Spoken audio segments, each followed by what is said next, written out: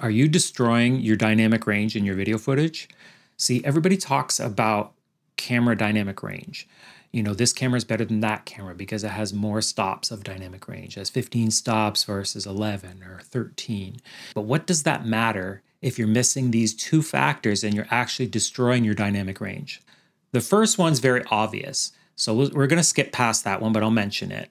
It's obviously you have to nail your exposure because if your exposure is completely off, you've already lost shadow detail or highlight detail uh, that you're never going to recover. But for this video, we're actually going to focus on the second factor, which is how you're managing your file when you get it onto your computer, into your editing system.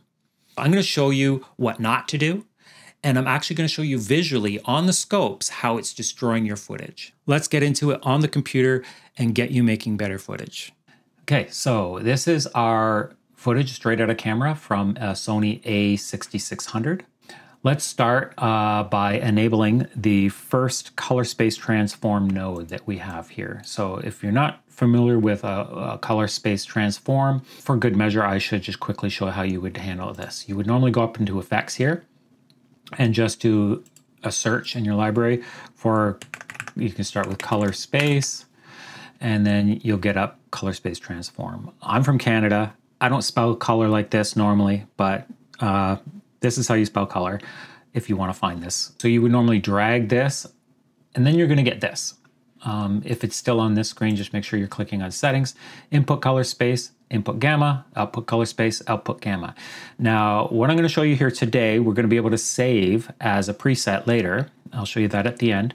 Uh, so you won't have to do all of this work all the time. The main two bits of information you're going to need from any camera or smartphone that you're recording with is what is the file type um, as far as color space goes.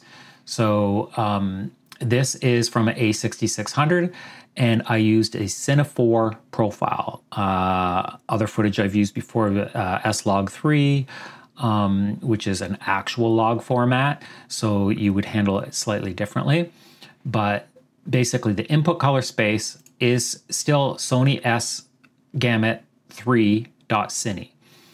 And the input gamma is Rec 709 because it is a Rec 709 file. Even though it's a flat looking file, these Cine 4 files, they're still a Rec 709 file.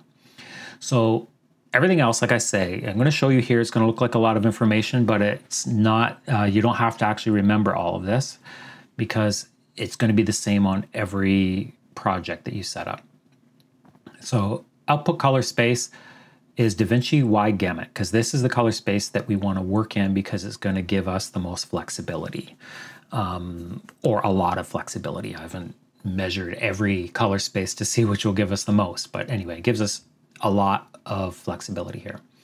And then your output gamma is DaVinci Intermediate. So basically, it's like a pipeline. It came in from our camera with particular uh, color space, and then we're going to convert it to this color space, which our working color space. And then, so of course, we need it to go out as well. So at the end of this, we have to create another color space transform, which will pick up where we left off. So remember, we left off changing it from a Rec 709 type file into DaVinci Wide Gamut. So we're going to say we're looking at a DaVinci Wide Gamut with an input gamma of DaVinci Intermediate.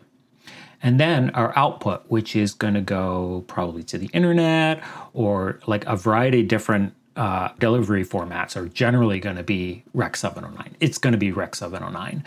And then your output gamma will be gamma 2.4. So this will stay the same. If I enable all of these nodes now, now you can see we got a pretty nice grade going.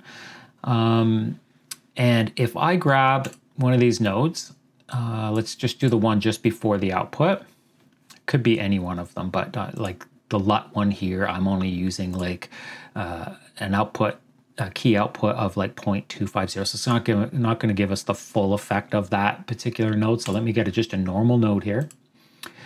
And if we look at our scopes, watch what happens when I grab my offset and I slide it up. See as the highlights start to come to the top, they start to compress. They don't just cut off they start to compress. We're actually getting a really nice roll off of the highlight information before it actually starts to cut it and blow out completely.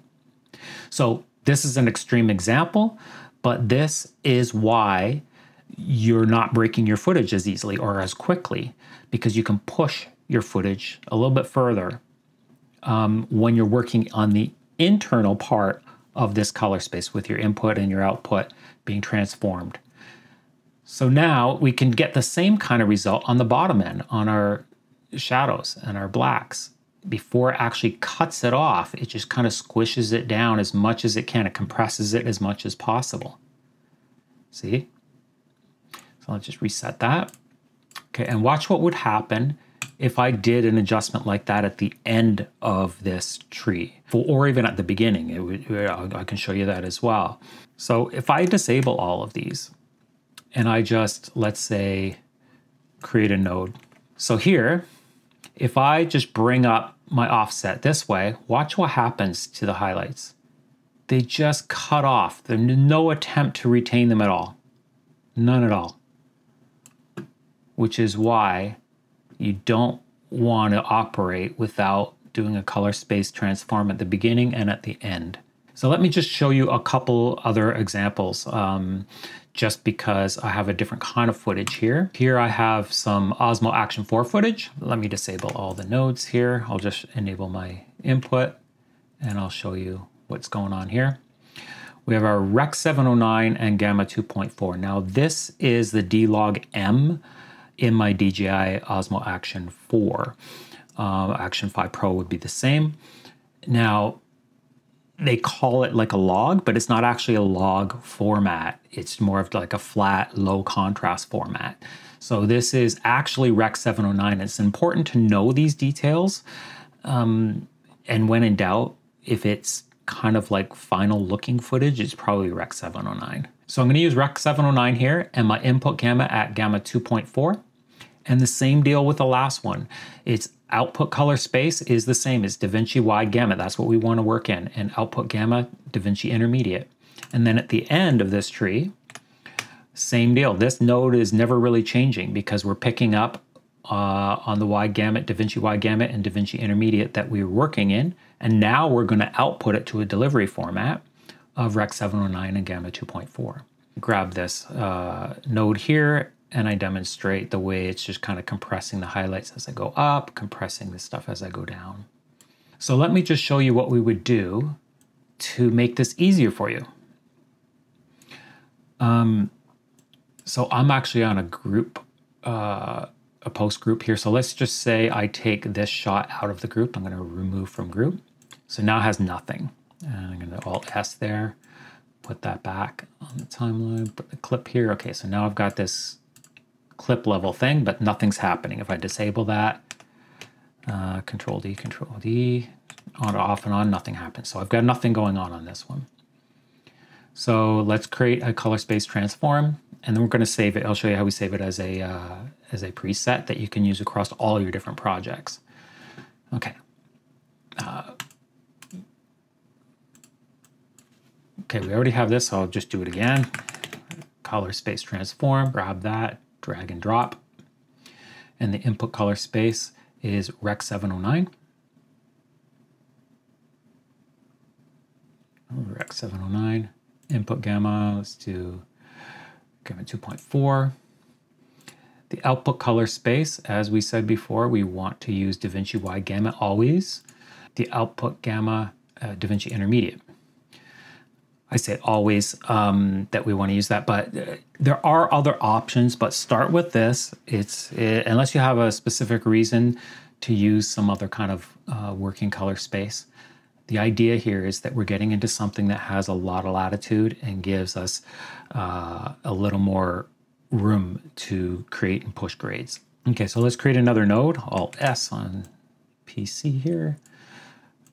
Color space transform Actually, let's name this first one too. We're just going to uh, node label, we'll call it a CST for color space transform. I'll name this one the same. You can name yours or whatever, but it's good to know at a glance what something is. If you use a LUT, I put LUT. Um, I don't like using LUTs. Anyway, input color space. Uh, like I said, we picked up where we left off, so we're going to use DaVinci Wide Gamut which is after our grade, after our corrections and coloring. uh, and DaVinci Intermediate. That's what we're picking up. Output color space is going to be Rec 709 as well. And gamma 2.4. Okay, there we go.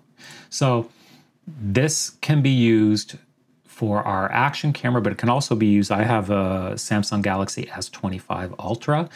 So it would be basically the same here because it would be a Rec 709 footage as well.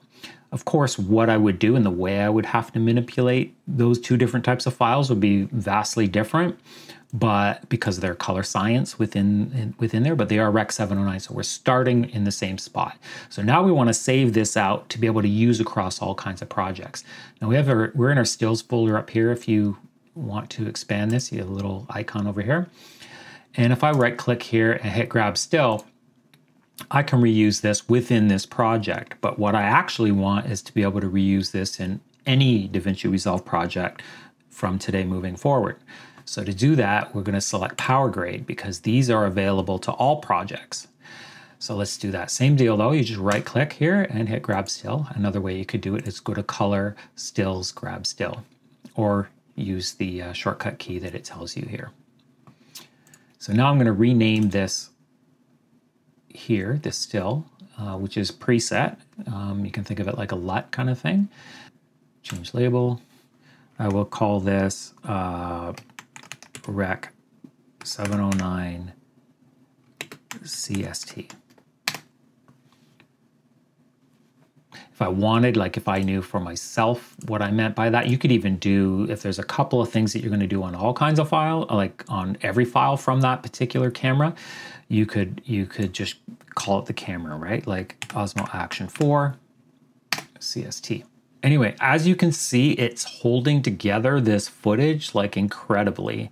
Like if you're not doing this, there's a good chance you're breaking your footage really early or a lot earlier than than it should. The Osmo Action 4 is 10-bit, but this Sony a6600 footage, this is 8-bit.